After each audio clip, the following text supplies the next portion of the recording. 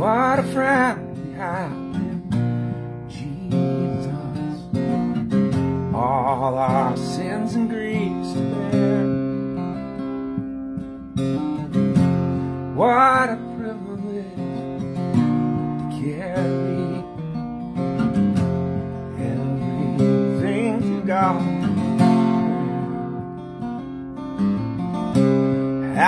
trials and temptations cumbered with a load of care? Precious Savior, still my refuge. Thou wilt find a solace there.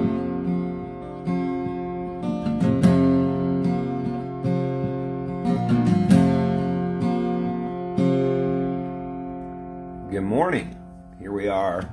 I don't even know how many Trailer Boy churches this is. Trailer Boy Church is a thing that I was doing even before I was doing it on Facebook because I would get up on Sunday mornings, much like my grandfather used to do, and I would play a bunch of the old hymns that used to strengthen and shore up my uh, belief system back in the day.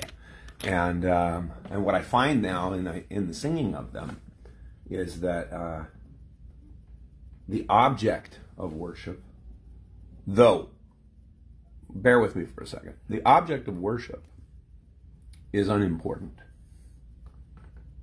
It's not it's not what actually gets the job done, right? It's not the object. It's not the being that you believe that you're singing to that's actually getting things done inside of you when you sing these songs. It's you getting your own inner soil kind of prepped and mulched and settled through song. And uh, it's really interesting to me. We critters do not like it uh, when people fuck with our religions or any of our beliefs, any of our opinions. They're so precious. They are Smeagol precious to us. So precious, my precious. Our opinions our thoughts and our feelings that generate from our bodies as a product of our dance through life, we at the center of our being have a sense of urgency around them all that a lot of us don't recognize as something we don't have to necessarily attend 24 7, 365. And so people are caught up in that. Uh, and so you can see, for instance, a person not liking the idea that, oh, when I sing this song, this song, What a Friend We Have in Jesus, it's not what a friend we have in Buddha or Allah or Thor or Odin. It's Jesus. It's specific. This is a song written by a person about Jesus um, and his perception of a relationship to Jesus. And that's this is his song. He wrote this song. I wrote, I don't know, close to 100 of these kinds of songs. And at the end of the day, I, who had the experience, can recognize that every time I wrote Jesus a song, I was writing it for a different version of Jesus because my understanding of this person, this historic figure, this religious figure, this mythological figure, all of these things are true. My uh, my sense of all of it could only go through the lens of my current experience. And I can look back and I can do it, I can write it up on a white chart, how my version of Jesus changed all along the way to become something vastly different than the one that I started out with. The Jesus at the beginning of my journey as a fundamentalist, Pentecostalish, very intense young man was a lot gentler and kinder at the end of it all when I wrote my song about the woman at the well and about how Jesus accepted and loved everybody, hands down. Everybody. Judas sat at his table all the way through, right? And so now I I could sing this song just as easy and say, What a friend I have in Buddha but it'd be a different flavor, right? But it's it's all pointing the same direction. And I think I'm saying this just to say that when we sing, it doesn't matter what God you think you're singing to. It's the singing that gets the work done. When you pray, and I, I still pray. I'm an agnostic, atheist. I still pray. I don't pray to a God. I don't pray to a being. I talk to myself. But I recognize that in the talking to myself, there is a an evening, an evening out, a leveling out, and a move toward acceptance, a move toward laying out before me what I think I perceive. And so it becomes as helpful as journaling or free writing, but it's not the being, it's not the object of faith. William James nailed this pretty well in his uh, exploration of the varieties of religious experience. Um, and this is how they ultimately got to the 12 steps as a tool. Because religion is a tool that humans created. God is a concept, which is a tool that humans use in order to increase and experience a difference in their understanding. It's a concept. And the folks who believe the deepest and the strongest aren't able to see the concept. They only see the being that they believe is there and real. So you have some people who are following a Jesus who's white skinned and blue eyed, and he has a six gun uh, strapped to his belt, and he holds up an American flag, and he rides a tank with Donald Trump. And that fits their faith. That fits their version of Jesus. Just the same as a person caring for the poor, caring for the sick, caring for the lost and disillusioned. They're following the Jesus they see. And we don't have a time machine, but I'm fairly confident that we'll find that Jesus was not, based on the, the teachings that we at least can agree he probably had, he was not a person running around on a tank with a pistol and an American flag. He was not a nationalist. He cared about people. But um, anyway, we can get a lot of traction um, in our beliefs, in beliefs that are not true, and uh, it's not the actual truth of it. If you if you're a reader, go look up my short story, "If Dragons Mass Eve Be Cold and Clear." It's on Tor.com. The character in there says often, doesn't have to be true to be real.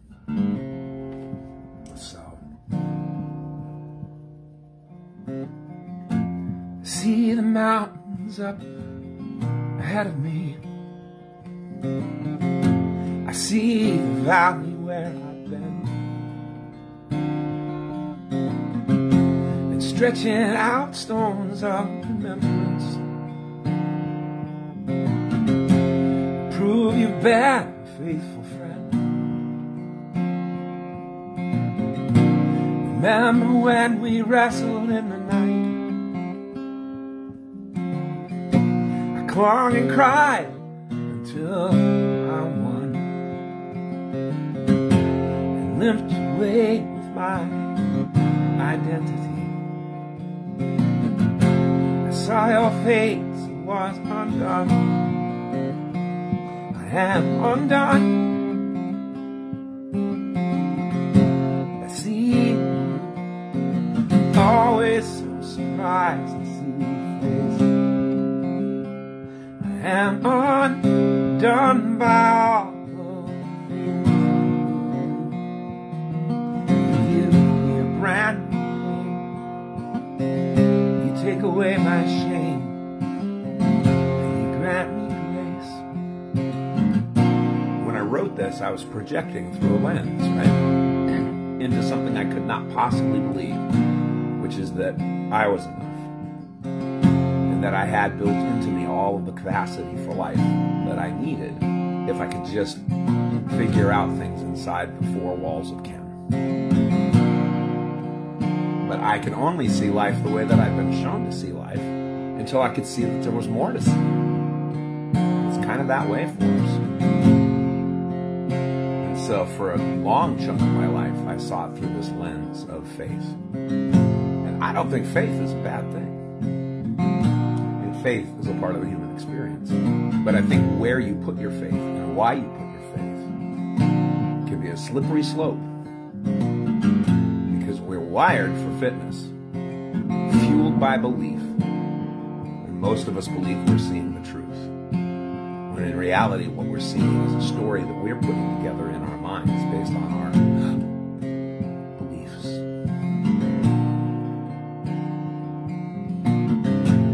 go from home to pigsty easily, prodigal son. I find I falter more than not. And trade the rope my rich father's care for my own rags of self-righteousness and rot.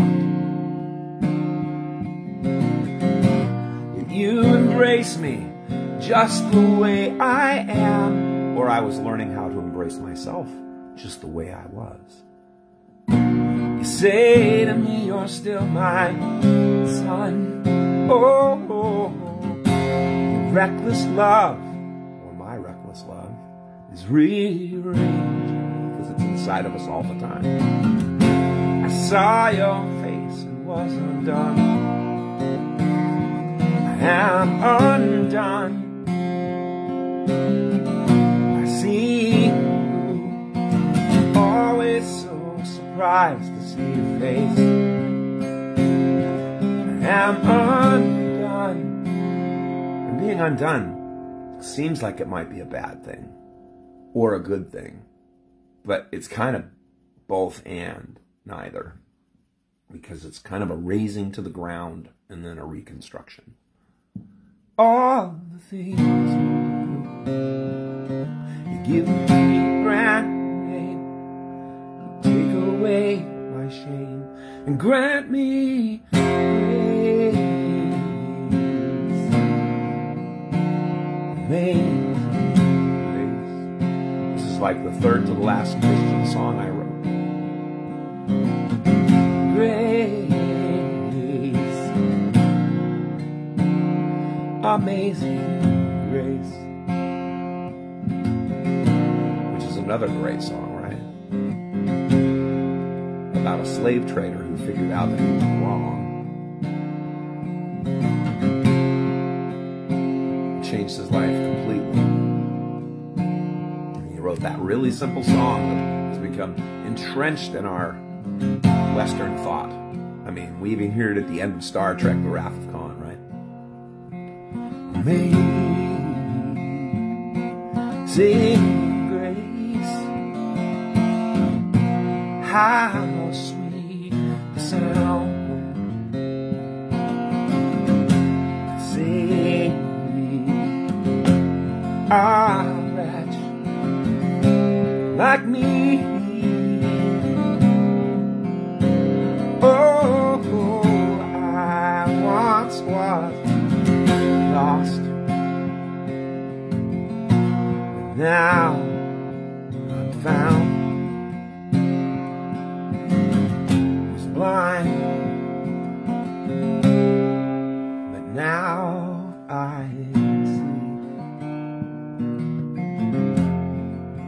Truer words, man. As a matter of fact, if you think about it, that first verse, there's just not even a mention of anything other than amazing grace that's sweet, that changes us. It's true. It's the truth. It's just that you got to cut out all the middle people love yourself. You are not so unlovable not so damaged that you can't extend grace to yourself. Forgiveness, love, compassion, whatever you want to call it. We can't give it to others until we have it for ourselves. And we don't need to get it from any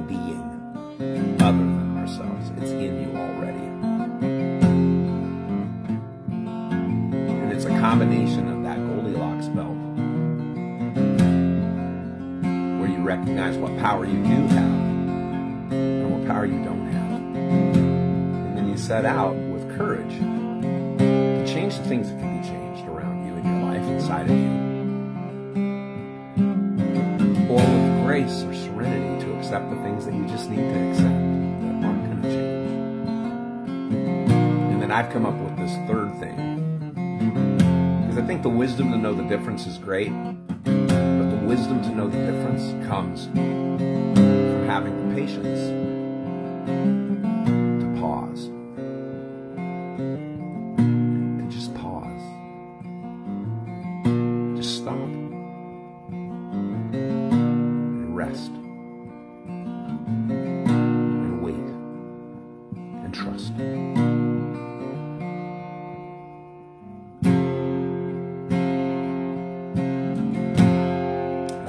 Amazing Grace, oh my goodness, I don't know how many times I sang that song as a completely, utterly lost soul, believing that I was a found, a foundling, right?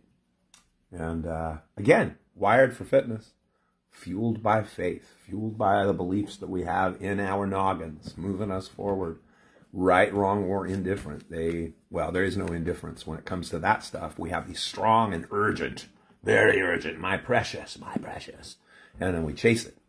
But life can be, well, life can be quieter. Life can be more joyful than anything I had before. Uh, life can be quite beautiful.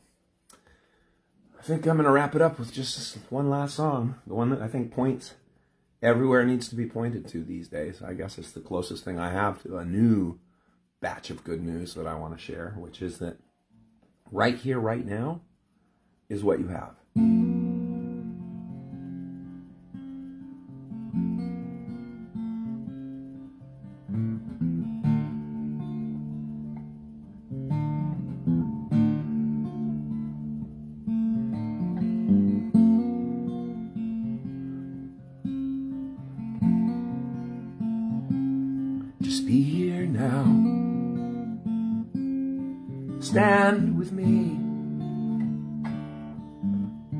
Place your hand with mine upon the bark of this redwood tree.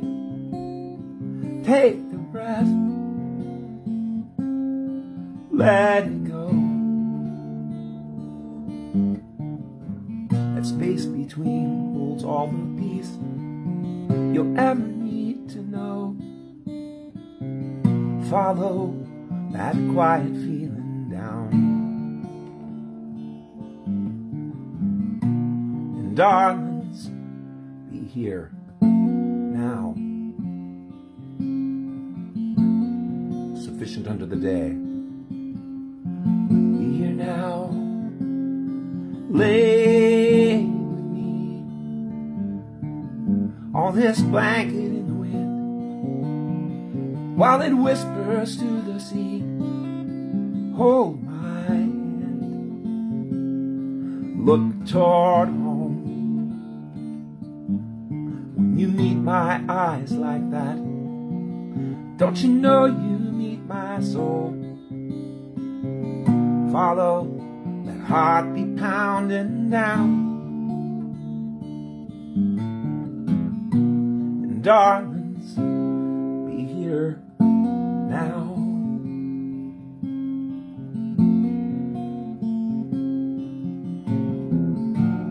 When the storm clouds fill your eyes and they overtake your smile, I know that you realize, oh, in just a little while, that every single question ever asked about the why or how is simply answered.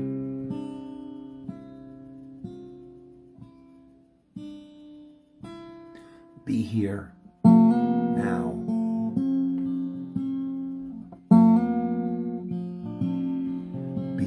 now. Watch with me. A harvest moon is rising yonder past that old oak tree. So stand and shout, sing and dance. Life's upon you, you're alive. Every now's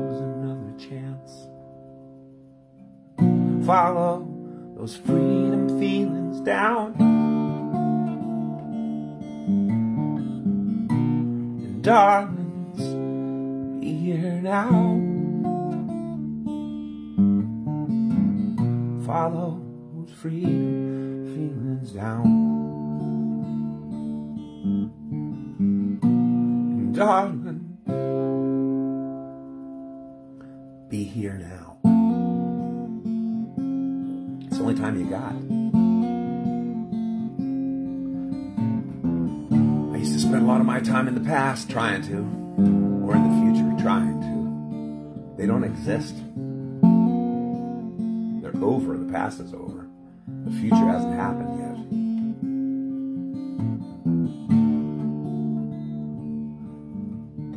There's a lot of freedom in figuring that little piece out. Okay.